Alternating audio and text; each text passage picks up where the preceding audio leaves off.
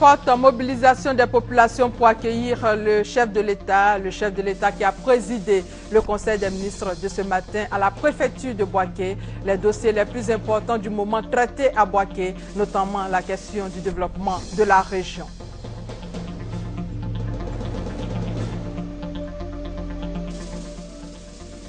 Les travaux de construction des logements du personnel de la BAD avancent bien. Plus de 130 logements sur 460 livrés fin décembre prochain et vous allez le voir dans quelques instants dans votre journal.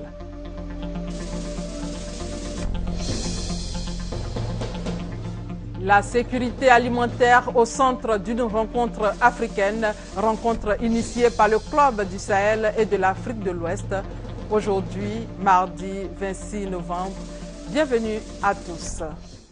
Commençons par ce qui fait l'actualité en Côte d'Ivoire la visite d'État du président Alassane Ouattara. Vous le savez, le chef de l'État est à Boaké depuis hier après-midi. Il a été accueilli par une foule en liesse.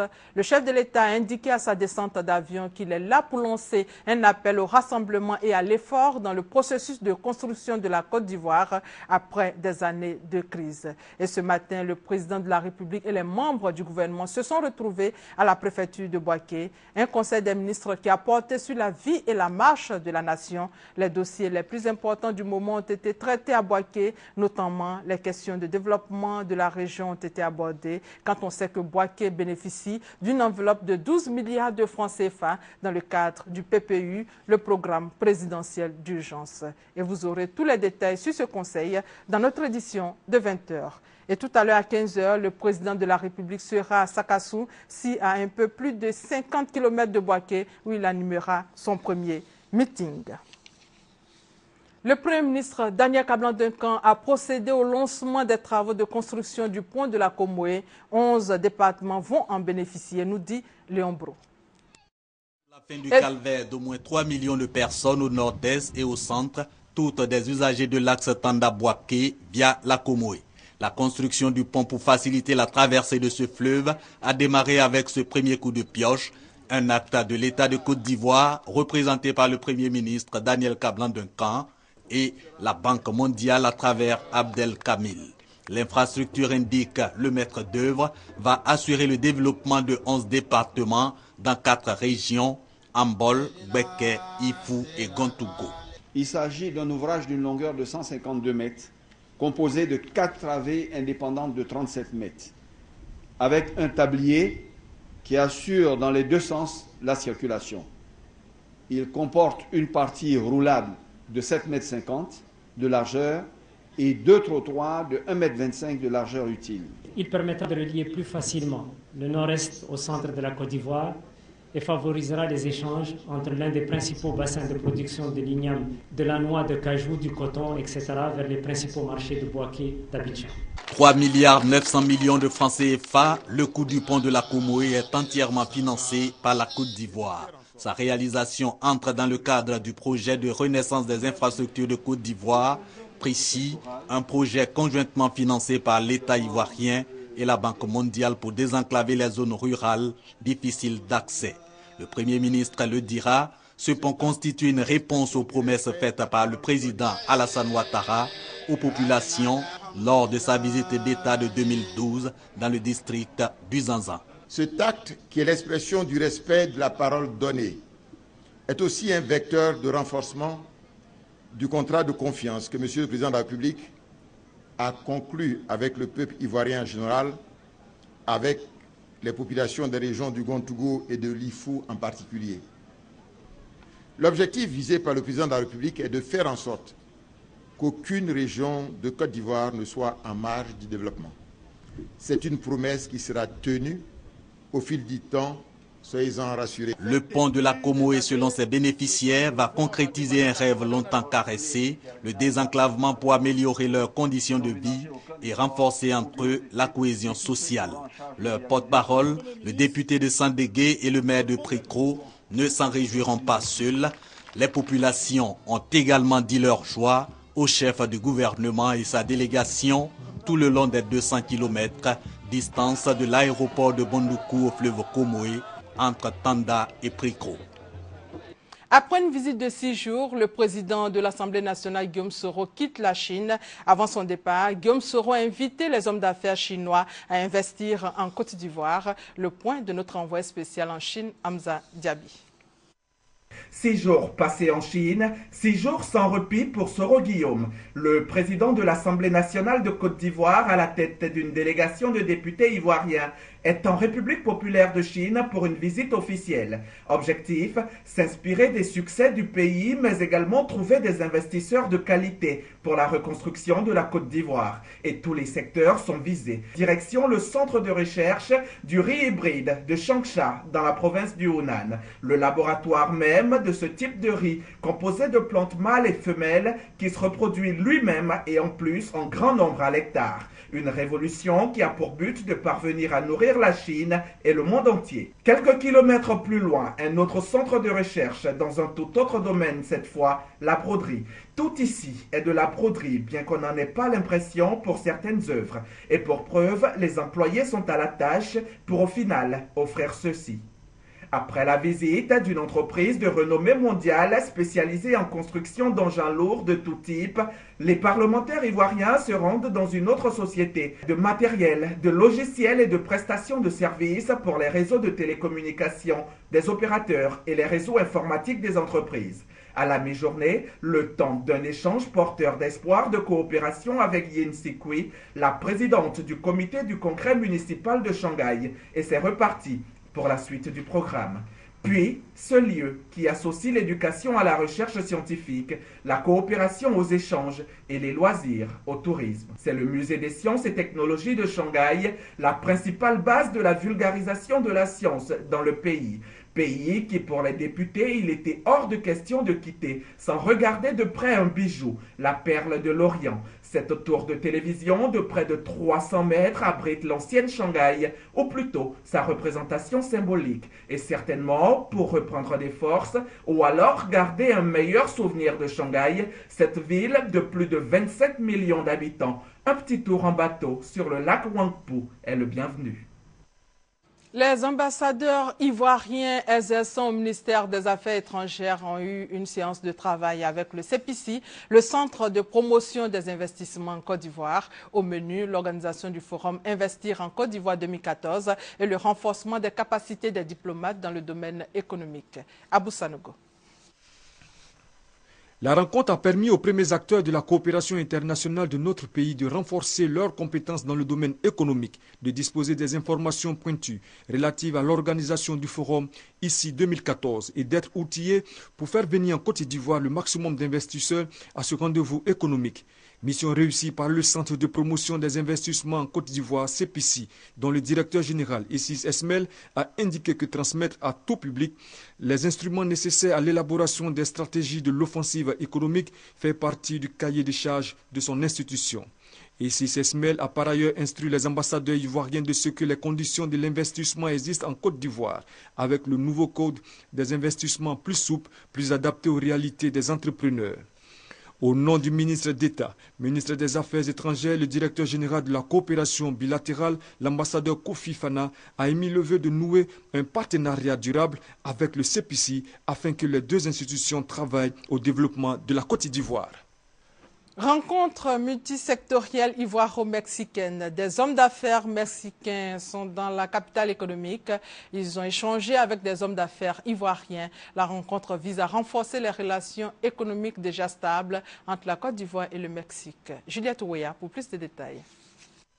Le Mexique veut investir en Côte d'Ivoire dans divers secteurs d'activité et pour favoriser ces investissements, des opérateurs économiques mexicains rencontrent les autorités ivoiriennes, dont le Centre de promotion des investissements en Côte d'Ivoire, le CEPICI, et le Village des technologies de l'information et de la biotechnologie, le VITIB. Il s'agit ici d'examiner les opportunités d'affaires dans le pays et renforcer les relations économiques bilatérales stables depuis 1975. Les secteurs qui nous intéressent le plus, euh, bien sûr, sont la, minerie, l'agriculture, la santé, l'infrastructure et des autres, qui peuvent générer de l'emploi et qui peut être euh, un chemin de y revenir entre le Mexique et la Côte d'Ivoire.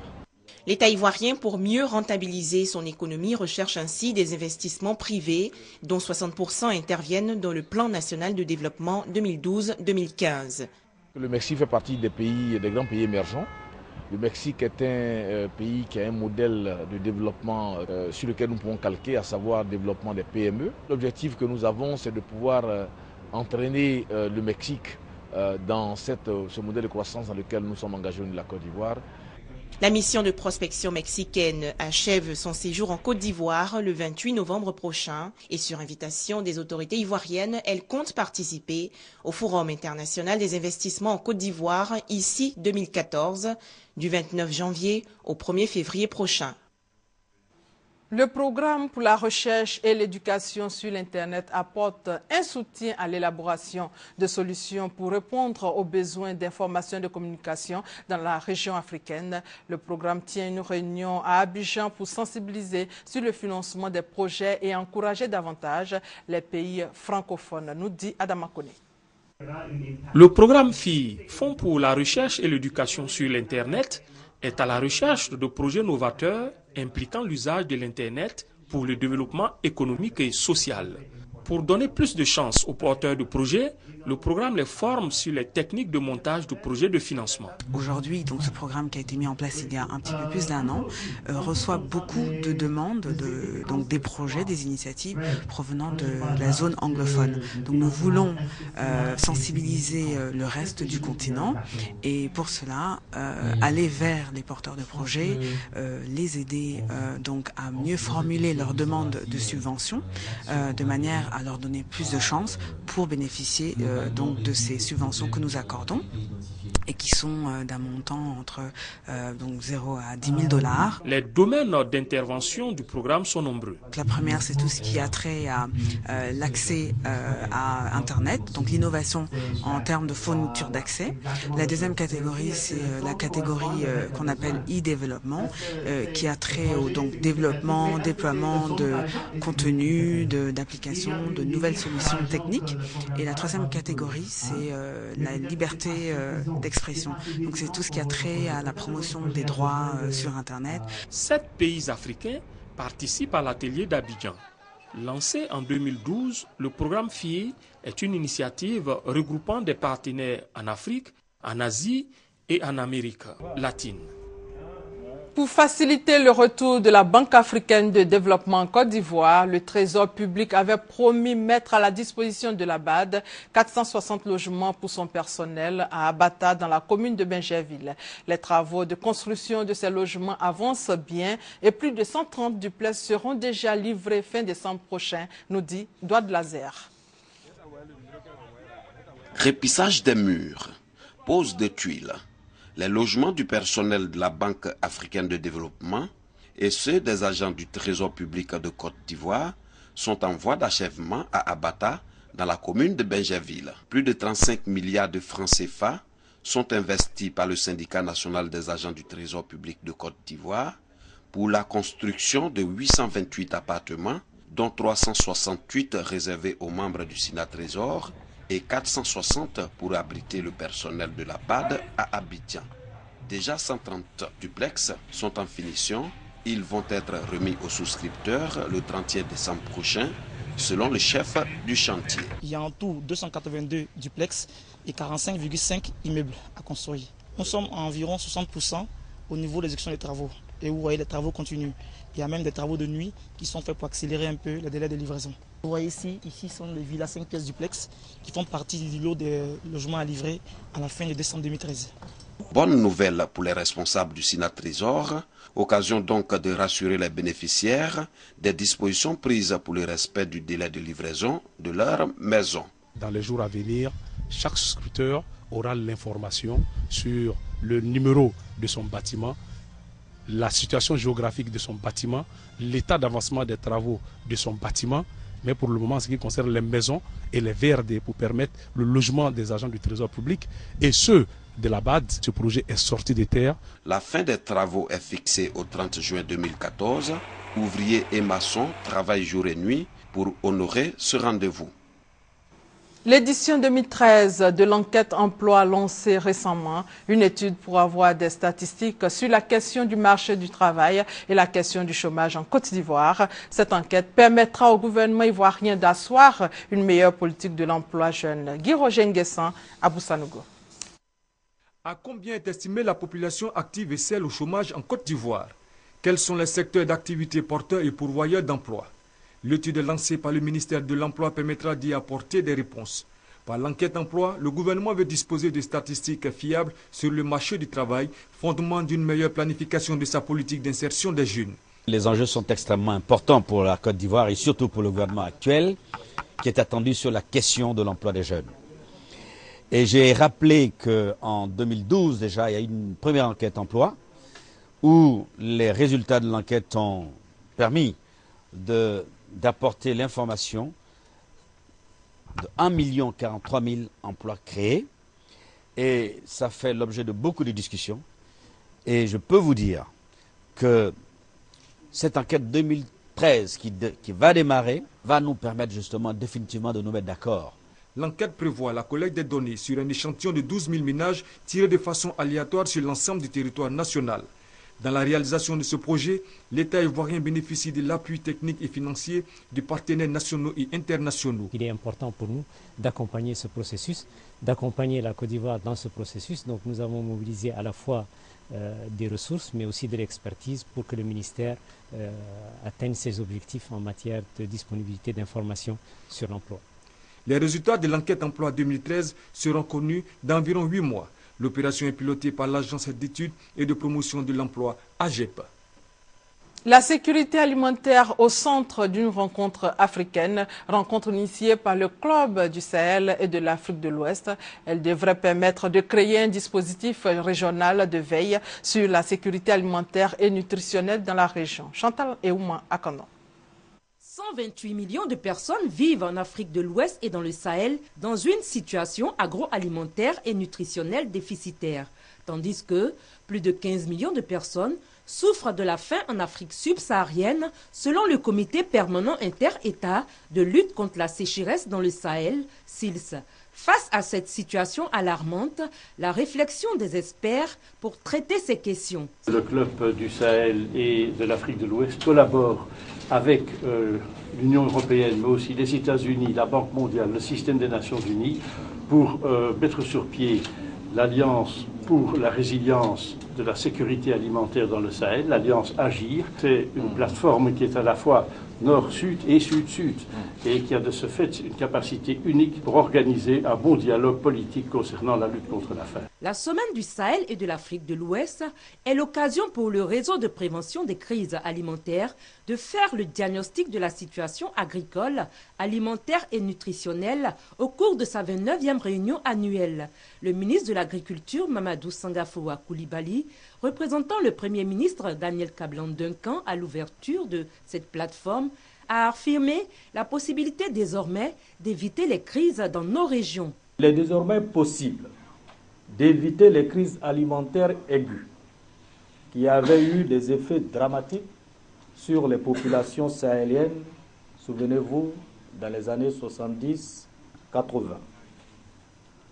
Notre région, Afrique de l'Ouest et du Sud, dispose désormais d'une architecture complète, politique et technique à même de mettre en œuvre son ambitieux agenda de sécurité alimentaire et nutritionnelle. En marge de cette plateforme sur la sécurité alimentaire, le ministre de l'Agriculture a échangé avec le représentant de la Banque mondiale, Van Nieuwkoop.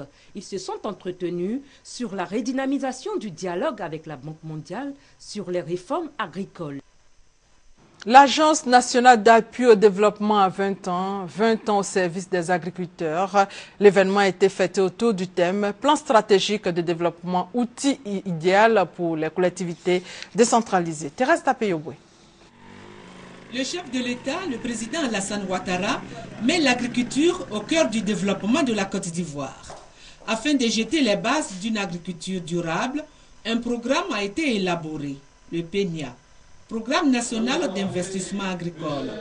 L'ANADER, l'Agence nationale d'appui au développement rural, veut prendre une part active dans cette politique. Elle a clairement défini à Azopé à l'occasion de la célébration de ses 20 ans d'existence. La NADER appelle pour cela à une nouvelle collaboration dynamique avec les partenaires au développement, notamment les collectivités décentralisées.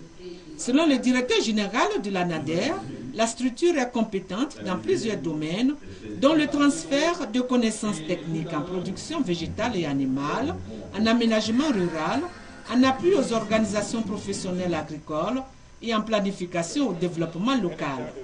De 2002 à 2012, la NADER a accompagné plus de 14 conseils généraux et trois communes dans l'élaboration de leur plan stratégique de développement. Pour toutes ces raisons, la NADER a été félicitée et encouragée pour le travail de formation abattu pendant ces 20 ans d'existence. Ce rapport national sur les droits de l'homme en Côte d'Ivoire, rapport rédigé par le ministère de la Justice, des droits de l'homme et des libertés publiques et l'Organisation internationale de la francophonie. Les détails avec Sidonie Davila et Alexis Ouedraogo. Membre de l'Organisation des Nations Unies, la Côte d'Ivoire s'est présentée le 3 décembre 2009 à Genève au premier cycle de l'examen périodique universel EPU. À l'issue de cette présentation, la Côte d'Ivoire, dont la situation a été examinée selon le mécanisme de l'examen périodique universel, s'était engagée à respecter 108 au lieu des 150 engagements en matière des droits de l'homme. C'est donc pour évaluer la mise en œuvre effective de ces engagements que cet atelier a été initié. Avec la contribution de l'OIF, l'Organisation internationale de la francophonie, le gouvernement ivoirien veut réussir son second passage conformément aux directives générales adoptées par le Conseil des droits de l'homme. Aujourd'hui, l'exercice que nous serons amenés à faire, c'est de faire le point des actions menées pour accomplir donc ces différentes recommandations que nous avons acceptées en décembre 2009. Toutes les recommandations couvrent tous les domaines des droits de l'homme droits politiques et civils, droits économiques et sociaux. Voilà, en fait, c'est vraiment tout un ensemble. Durant ces cinq jours de travaux en atelier, les représentants des ministères, des organisations de la société civile feront profiter de leurs connaissances et expériences en matière des droits de l'homme pour ainsi permettre à la Côte d'Ivoire de gagner son pari, celui de réussir le second tour à l'examen périodique universel. Retour sur la journée internationale des droits de l'enfant. L'événement a été célébré récemment à Niablé, dans le département d'Abengourou. Cette célébration a été l'occasion pour l'ONG Vision Nouvelle de sensibiliser les parents sur le droit des enfants. Thérèse Tapeyoué. L'ONG Vision Nouvelle milite depuis 2006 pour la protection des droits des enfants. À l'occasion de la journée des droits de l'enfant célébrée récemment, la directrice de l'ONG a interpellé à Niamblé les autorités politiques, administratives, de même que les parents, sur la nécessité pour eux de prendre en compte les avis de leurs enfants pour toutes les décisions les concernant. Quadio Denise a également invité les parents à être les amis de leurs enfants et à discuter avec eux afin de les aider à grandir dans un environnement serein. Aux enfants, elle a recommandé le respect à l'égard de leurs parents, des aînés, des enseignants. Quant au directeur régional de la solidarité, il a relevé les différentes actions menées par le gouvernement pour protéger et garantir les droits des enfants, notamment le rejet des mariages précoces et forcés, les mutilations génitales féminines.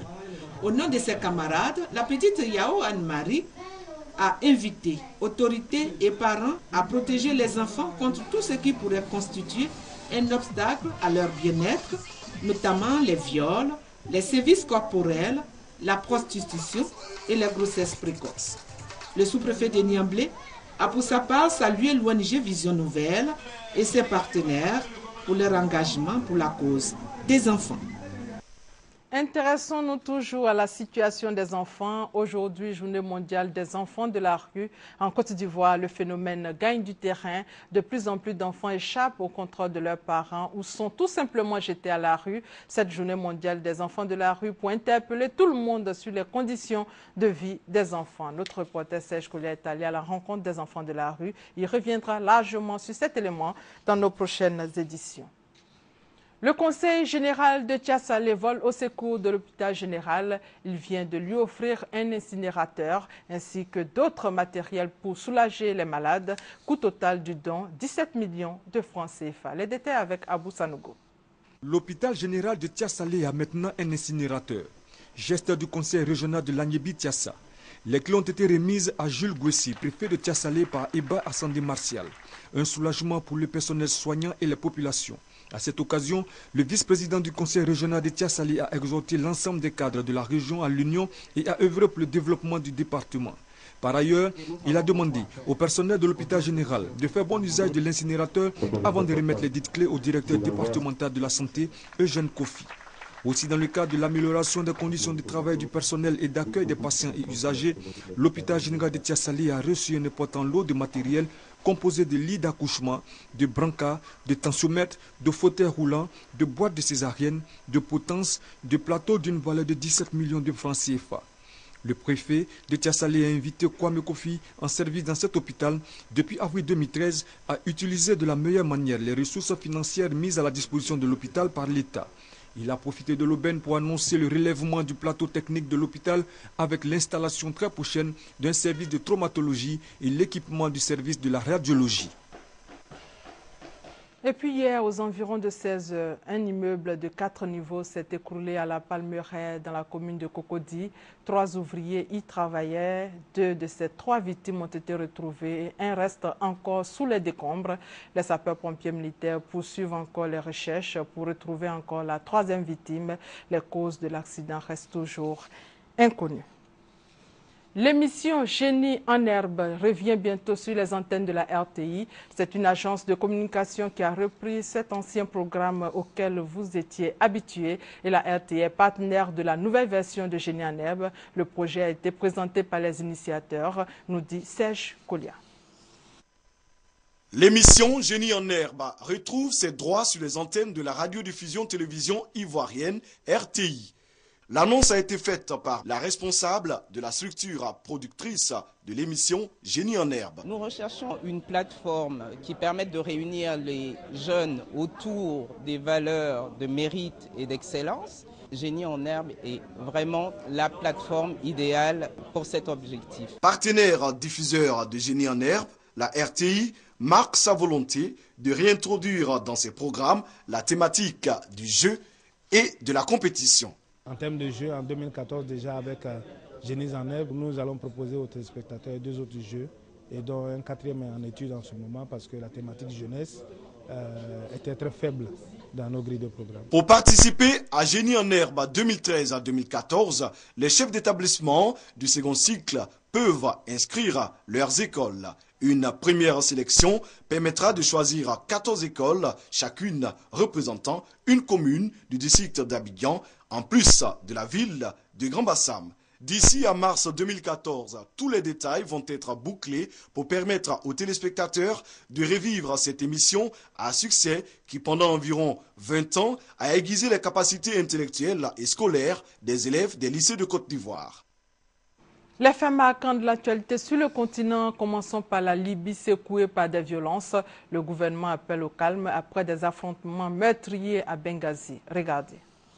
Une dizaine de morts, plus de 50 blessés, c'est le bilan provisoire des affrontements qui opposent depuis ce matin l'armée libyenne à un groupe salafiste à Benghazi.